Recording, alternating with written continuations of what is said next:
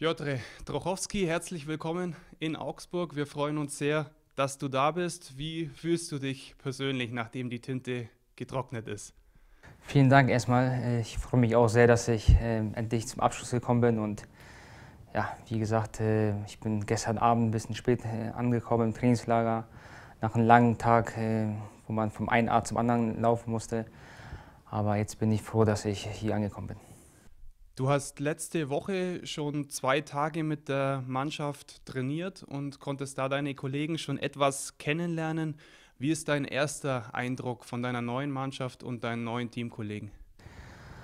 Zuallererst äh, muss ich mich bedanken, dass ich äh, die Möglichkeit habe, wieder in der Bundesliga zu spielen. Diese zwei Tage Mannschaftstraining und äh, das Benefizspiel haben mir einfach gut getan und äh, das hat einfach meinen Wunsch bekräftigt, äh, hier zu unterschreiben und äh, den Weg gemeinsam mit den Jungs zu gehen. Und äh, ich kenne ja einige von früher, mit denen ich zusammengespielt habe, ob das der Bayer ist in der äh, bayerischen Auswahl oder Markus Vollner äh, bei Bayern München Amateuren und in der A-Jugend. Sogar Jan Carsten Brager kenne ich auch noch von der U21-Nationalmannschaft. Daher kenne ich einige und äh, ich wurde herzlich willkommen und äh, so wie es sich gehört. Kann man sich in so einer kurzen Zeit schon einen Eindruck überhaupt verschaffen von einem neuen Umfeld oder dauert das ein bisschen? Nee, es geht schon. Also man kann relativ schnell äh, feststellen und man merkt relativ schnell, wie die Mannschaft ähm, tickt und so. Und man muss sagen, also mir gefällt das sehr, dass es äh, sehr ordentlich zugeht, dass die Leute sehr entspannt sind und äh, mir kommt es jetzt nicht so vor, als wenn äh, Leute da aus der Reihe ticken würden und deswegen ist Augsburg auch so erfolgreich. Tobi Werner hat über dich gesagt, ähm, er hat selten einen Spieler gesehen, der in zwei Tagen Training so Gas gegeben hat. War das so? Hast du dich da extra ins Zeug gelegt? Ich habe lange nicht mit der Mannschaft trainiert, muss man auch sagen. Ich habe mich fit gehalten und ähm, klar, wenn man dann die Möglichkeit hat, äh, mit der Mannschaft zu trainieren, egal wo es ist, hat man wieder Spaß, äh, mit Jungs zu spielen. Ich habe ja seit 20 Jahren eigentlich äh, jedes Jahr über Monate äh, mit den Jungs geschwitzt, Spiele gewonnen, verloren und äh, Leute umgehauen.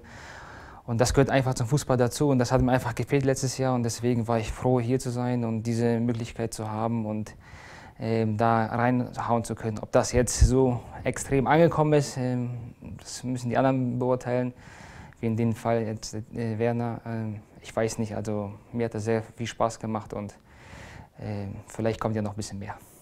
Du hast ja im Testspiel im, gegen die Schwabenauswahl auch gleich das 1 zu 0 erzielt mit einem Freistoß. War das was, wo du dich, wo du dir wieder Selbstvertrauen auch geholt hast?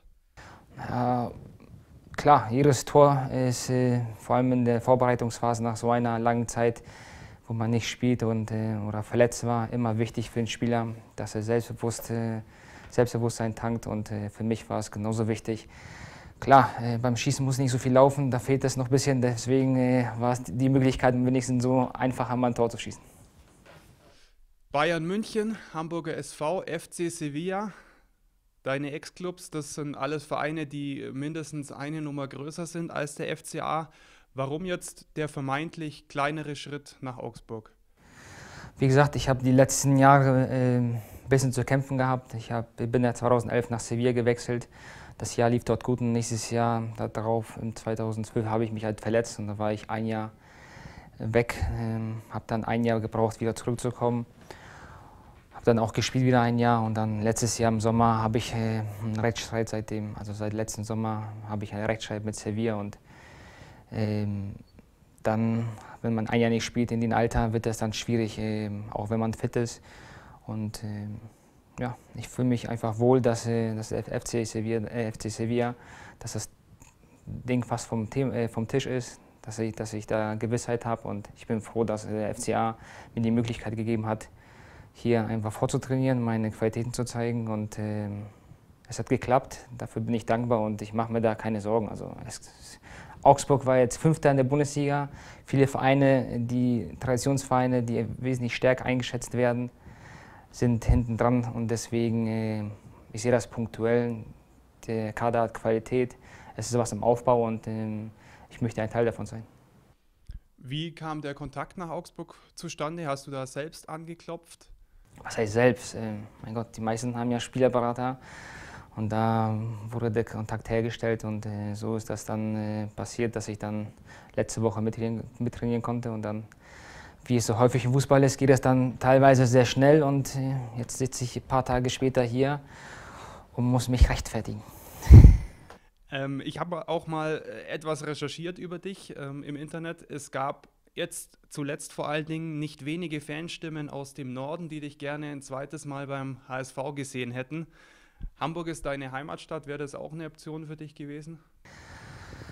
Natürlich. Klar, man, äh, man überlegt, weil ich da, da jetzt die letzte Zeit auch wieder gewohnt habe, nachdem ich aus Spanien wieder zurückgereist bin und äh, Hamburg, äh, meine Familie wohnt da, meine Freunde es ist mein Zuhause. Ähm, klar, man kann in, zu seiner Heimat immer mal zurück, man hat aber nicht immer die Möglichkeit mal ins Ausland, deswegen habe ich das auch mal genutzt. Und ähm, genauso habe ich das äh, mit Augsburg gesehen. Die Möglichkeit war da, die Chance haben sie mir gegeben und die habe ich ergriffen, was beim HSV nicht der Fall war. Kommen wir nochmal zum FC Sevilla. Du hast aufgrund äh, des Rechtsstreits, hast du schon angesprochen, mit den Spaniern über die Vertragsauflösung seit mehr als einem Jahr kein Pflichtspiel mehr absolviert, bist aber trotzdem sehr gut in Form. Wie kommt das? Ich habe ein bisschen was gemacht. naja, ich musste mich letztes Jahr im äh, Oktober nochmal nachoperieren lassen und dann hat die Reha angefangen und äh, dann war ich die ganze Zeit in Hamburg. Ich habe einen guten Physio, der hat früher beim Hamburger SV äh, gearbeitet und habe da die erste Phase gemacht und später, mein Gott, ich habe so viele Trainer in meiner Laufbahn gehabt, so viele Fitnesstrainer dass ich da die meisten Übungen auch kenne und habe da angefangen, auch viel selber zu trainieren. Mein Bruder macht ein bisschen fußballspezifisches Training. Mit denen habe ich trainiert und sonst ein Fitnesstrainer. Und so hat man das jeden Tag gemacht, manchmal auch zweimal am Tag. Und mein Gott, auch wenn man jetzt nicht irgendwo in der Mannschaft ist, muss man sich fit halten oder sogar ein bisschen mehr als fit halten, richtig Gas geben, weil sonst kommt man irgendwie in den Verein und dann, man kann dann nicht überzeugen, weil die Fitness fehlt. Und das wollte ich halt verhindern. Ein Fußballer will möglichst immer spielen und mit dem Ball arbeiten. Bei dir war es so, dass du das ein Jahr lang nicht tun konntest. Nagt das an einem, wenn man über so einen langen Zeitraum raus ist? Also ich habe schon mit dem Ball trainiert. Also nach die erste Zeit in der Reha ist klar, Krücken, dann kommst du langsam rein mit Fahrradfahren, Crosstrainer, dann fängst du an zu laufen. Das dauert, das ist halt die schwierigste Phase, weil du so ein bisschen angewiesen bist auf, äh, auf, auf deine Frau bzw. Deine, deine Familie. Aber danach geht es ja relativ schnell und wie gesagt, fängst du an zu laufen und jeder weitere Schritt, der dich nach vorne bringt, ist, macht einfach Spaß, weil du siehst dann den Erfolg und die Verbesserung. Und äh, dann habe ich auch relativ schnell dann, wo ich gemerkt habe, das geht, mit der Absprache der Physiotherapeuten äh, angefangen, mit dem Ball zu trainieren. Und klar, individuell ist nicht wie mit im Kollektiv mit der Mannschaft, aber mein Gott, der Ball war immer schon dabei und äh, der wird nie weg sein. Das ist halt äh, das ist mein Fußball. Ich mag halt gerne den Ball am Fuß haben und äh, nicht unbedingt immer hinterher zu laufen und irgendwie äh, Leute umhauen. Wie hast du diese Zeit überbrückt? Hast du das komplette Jahr in Sevilla oder in Spanien verbracht oder wie ist das abgelaufen?